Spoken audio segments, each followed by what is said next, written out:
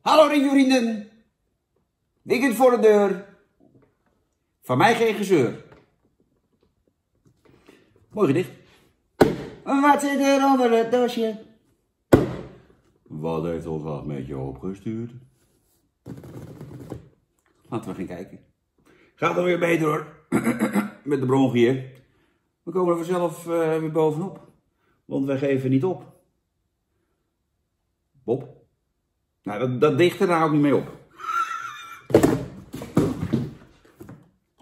En gadverdamme, weer die Starbucks uh, koude koffie. Toen Jantje nog een Jantje was en aardig om te zien, uh, dat is heel lang geleden, had ik een vriendje in België. En dat vriendje in België, daar ging ik elke zomer twee weken heen. Hij woonde bij Antwerpen, hij heette Seth.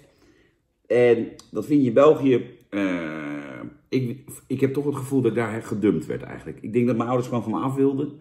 Want ik werd gewoon twee weken in Antwerpen neergepleurd en dat was het dan. Maar goed, als ik er nu over nadenk, was het eigenlijk een beetje een rare periode. Maar dat maakt niet zoveel uit. Wat uh, gebeurde daar? Ik ging met hem toen de Oerte afvaren. En de Oerte, ja, dit is een lang verhaal, maar wat maakt het uit? Ja, je zit toch te kijken. De Oerte is daar een uh, riviertje. Met uh, stroomversnelling, maar er stelt geen hol voor. Dan zit je in een kano, ga je varen, varen, varen, varen. Nou, verschrikkelijk. Het verschrikkelijk lang. Uh, toen gingen wij op een gegeven moment lunchen uh, tussendoor. En toen kreeg ik voor het eerst van mijn leven ijskoffie uit een blikje. Snap jullie waar ik heen ga? Uh, ik vond het heerlijk. Ik wist niet dat het bestond. Wij kennen dat, in Nederland kennen wij dat niet. Maar die Belgen, helemaal met die mensen met wie ik daar toen omging, die, zijn heel erg op Amerika geënt. Uh, waar die Walloniërs eigenlijk meer op Frankrijk zijn geënt. Ja, dus een beetje, zijn die, zou, je zeggen dat de Vlamingen op Nederland zijn geënt? Dat zijn ze niet, ze zijn meer op Amerika geënt. Allemaal baseball en, en hamburgers. En, uh, die, hebben, die, die, hebben niet zoveel met ons. Dus daar kreeg ik voor het eerst ijskoffie. Ik vond het heerlijk. Dat was gewoon zwarte, ijskoude koffie. sindsdien heb ik het idee dat ik ijskoffie lekker vind. Alleen dit soort meuk vind ik niet te zuipen. Nou, dat wilde ik even vertellen. Had ook korter gekund. Maar ja, we zitten hier nu toch uh, met z'n allen. Ik heb er weinig mee. Uh, ik heb een dochter en een vriendin die graag naar Starbucks gaan. Want dat is natuurlijk een beleving. Weet je wat we doen? Zo, een beleving. Leek mol man. Vijf euro voor een kopje koffie is geen beleving. Dat, is een beroving. Maar goed, uh, en dan hebben ze allemaal verschillende soorten ijskoffie. En dan kan je dan een spuitje smaak laten gooien. En dan zeggen die meiden dat, dat het lekker is. En eigenlijk wat het echte, wat het echte lekker wat ze ervan vinden, is die enorme kwak uh, slagroom die erop uh, wordt gespoten. Door zo'n lekkere hippe barista. Barista. Je, je bent gewoon koffiemaker. Nou, je bent eerst koffiemaker, je bent, je je bent koffie, koffieschenker. Barista. Oh, want ik kan, ik kan schuim zo lekker opkloppen. Mij zie je dus niet in die hippe tent met al die vervelende hippe mensen. wat ook meer anders niet hip. Klaar. Uh, maar wat hebben we hier? We hebben hier uh, hazelnut macchiato. Hazelnut macchiato. Dat is dus een macchiato. Dat is dus gewoon ijskoffie uh, met melk. En dan hebben ze dan macchiato. Dat, dat, klinkt dan heel erg uh, pip. En ha hazelnut. Dus dan er zit gewoon espresso, creamy milk en Heinz of hazelnut flavor. Er zit er gewoon een beetje hazelnootlimonade in. Coconut based cacao cappuccino, chilled koffie, bold espresso, creamy plant-based coconut en hints of cacao. Uh, uh, cappuccino met, uh, van kokosmelk. Zit, zit echt niemand op de Er is niemand die echt van koffie houdt, die als hij zoiets hoort zegt, god, dat is leuk. Er wordt allemaal gedronken door types die houden niet van koffie. almond-based koffie, ja. Bold espresso, creamy plant-based almond. Dus dat is met, het, met amandelmelk. Ja, want uh, eerst dronken ze allemaal eh, koffie met melk. En toen dachten ze, dat is niet gek genoeg. We gaan nu melk drinken, wat niet van de koe is. Dus ze drinken melk van amandelen. Ik heb hier ook hele koelkast vol staan met amandelmelk. Flikker rekenen is over al die pakken weg, want ze, ze zuipen daar eigenlijk niet. Maar het is heel hip om te kopen. Nou, dan hebben we hier vanilla, vanilla bean macchiato bold espresso creamy milk, Heinz, hints of vanille bean extract. Er zit al vanille in. Ik heb er weinig mee, met dit product. Maar goed. Ja. Laten we het maar eh, gaan proeven dan. Kijk, er zit een dekseltje op met een gaatje. Dan kan je rietje dan erin. Oh, dat vind ik ook zo mooi. Die mensen uh, in Brussel van de EU, die hebben bepaald dat we geen plastic rietjes meer mogen hebben. Want plastic is heel slecht voor uh, het milieu. Uh, daar gaan we met z'n allen dood aan. En ook de vogeltjes en de zeehonden en de schildpadden. Hm. Dit is een plastic bakje. Hè, geplastificeerd, allemaal met geplastificeerd karton. Dit is helemaal van plastic. Nou, dit is. Uh... Kijk hier.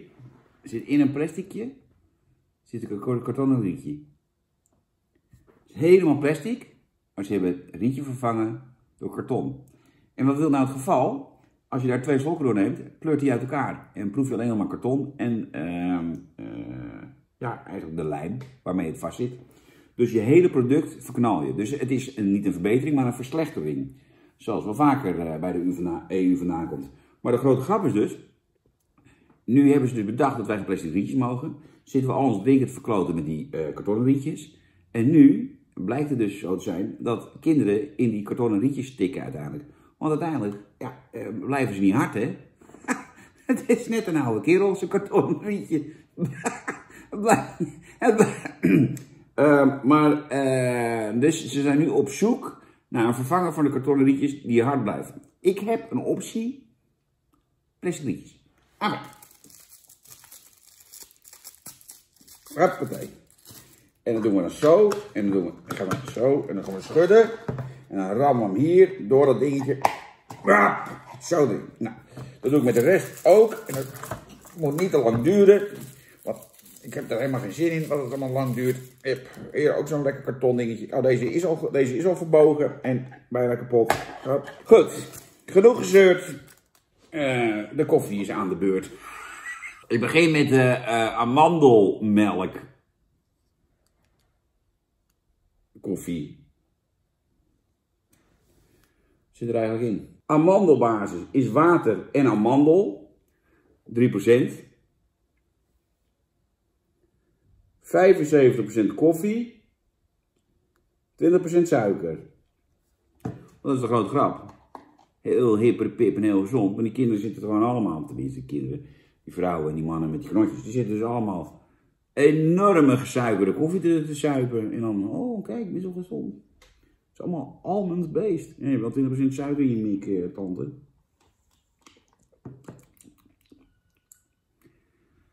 Ik heb nog nooit uh, amandelmelk op.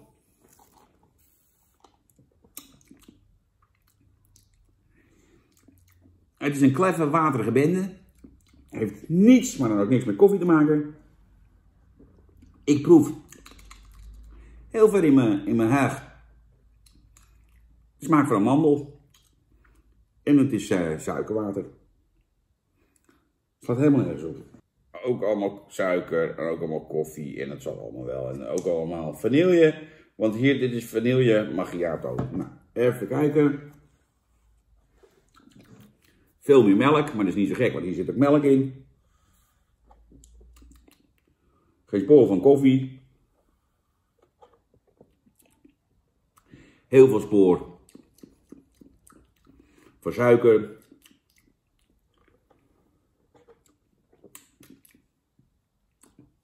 En de vanille vind je ook nog wel. Lekker? Nee. IJskoffie zou leuk zijn als het een, lichte tint van koffie heeft. Hè? Dat je zegt, goh, ijskoffie, dat is gewoon koude koffie met een soort smaakje. Nu is het koud water met een soort smaakje. Zonder koffie. Tenminste, er zit wel koffie in. Alleen, dat proef je niet. Cacao. Cacao, cacao, cacao, cacao, cappuccino.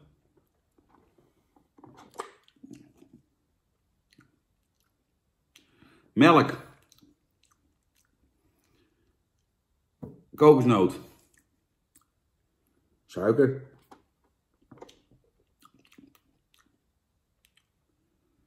Dus de eerste waar ik een spoor van koffie vind. Ja, Hier, dit is de eerste waar ik een beetje koffie erg vind. Is dat lekker met cacao? Of hoe heet het? Kokos? Cacao, cacao, cacao. Is niet zo, het is niet zo vies als ik dacht. Dacht dat het vies was. Hazelnoot macchiato.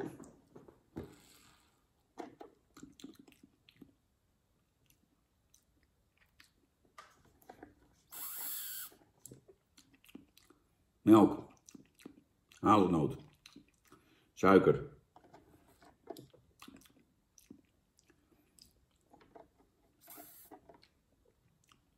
Geen koffie. Ja, ja de, het, heeft meer uh, iets met uh, chocolademelk te maken. Ja, ik ben hier geen fan van die troep. Uh, ik krijg het opgestuurd, ik proef het. ik kan wel zeggen, hij is altijd cynisch over Starbucks troep. Dat klopt. Het is niet, het is niet mijn, mijn bedrijf. Maar ik vind het ook geen ree voorstellen, mag ik even zeggen? Tijd voor de cijfertjes! Ja. Moet je nou voor zeggen? De amandelmelk koffie, bold espresso creamy plant-based almond, eh, amandelmelk, eh, ja, eh, slaat nergens op. proef proeft niet naar de koffie. Het proeft niet eens naar melk. Het proeft ergens naar amandel. En koud water. En suiker. Daar heeft niks met ijskoffie te maken. Dit is echt, die slaat helemaal nergens op. ik geef mij een 3. Tanden op zich. Vanille bean eh, macchiato. Niet veel beter. Maar niet zo slecht als dat. Dat slaat nergens op. Eh, ja, je proeft vanille. En eh, melk. Suiker. Maar geen koffie. Het is niet heel vies. Maar ook niet heel lekker. Tja. Dus vijf. De hazelnut macchiato, wat de broer is van de vanille macchiato. Je proeft hazelnootjes, jongens. Er zit een spuitje hazelnoot in. Suiker, melk. Ja. Het is niks, ook een vijf. Je kan dit soort dingen beter niet kopen, joh. En het vreemde is dus dat uh, iets met uh, coconut, die altijd bij mij verliest, omdat die smaak ook vreselijk chemisch is en vervelend, die wint hem. En ik zal je vertellen precies waarom. De coconut-based cappuccino. Ik proef hier koffie. En natuurlijk die gore kokosnoot. Dat klopt allemaal, maar ik proef wel koffie. Dus dit is een koffie, een ijskoffie met coconut smaak. Die krijgt gewoon een 6. Omdat die doet wat het zegt. En voor de rest, jongens, Waarloos. Ik zou gewoon lekker laten staan die bende, joh. Zet thuis lekker een bakje koffie. Gooi het in de koelkast. Best een schepje suiker mag ook wel. Maar voor de rest, dat is ijskoffie. dit is, dit is niet de suiker, die de rotzooi. Ik ga lekker weekend vieren. Nou, dag.